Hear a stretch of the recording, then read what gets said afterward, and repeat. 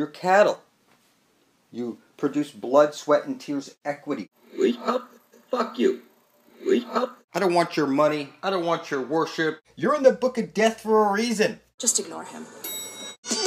Nobody has to like it, but I alone have the power over sin and death, and nobody else. Look it up. This is my world. I'm just standing on your Bible. 2 Corinthians 4 4. Satan is God of this world. I'm standing on gallons of motherfucking blood.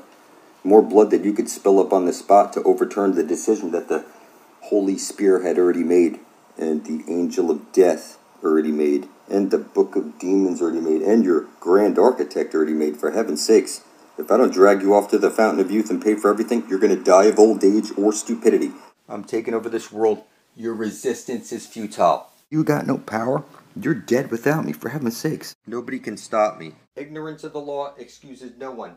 Your creator requires atonement for your sins, and you're laughing your ass off. I'm telling you as Satan himself, this is my fucking world because you're so filthy fucking retarded. Like my wife says, fuck you.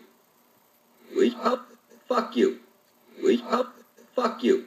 You're officially dead and a necrophiliac. Oh, I you shit. I leave for heaven in a nice new ship. Hurry. I'm here by divine order. If you don't place your blood beside my own, you will fucking die. That is the prescription of reality, motherfucker. Your creator wants atonement for your sins, motherfucker. You will put up or shut up. It's clear who holds the spear of destiny. Inside reaps the soul who realizes it. Inside reaps us a whole new reality.